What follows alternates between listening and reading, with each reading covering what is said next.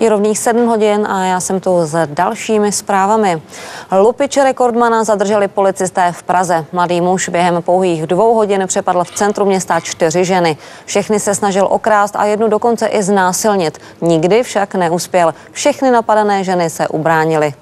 Velmi kuriozní nehoda se odehrála na staveništi v Plzni. Obří bagr tam doslova slisoval zaparkovaný Mercedes. Trochu z jiného pohledu se teď podíváme na nejvyšší stavbu světa. Dubajská věž Burj Khalifa měří 828 metrů. Skupina odvážlivců si zašla popovídat až na samotnou špičku této budovy. Tolik zprávy, jak se tak dívám do scénáře, tak nás čeká ještě předpověď počasí a také pohádka Pepek námořník a dneska se to jmenuje Pepek záchranář. No já vám přeji k tomu krásné ráno.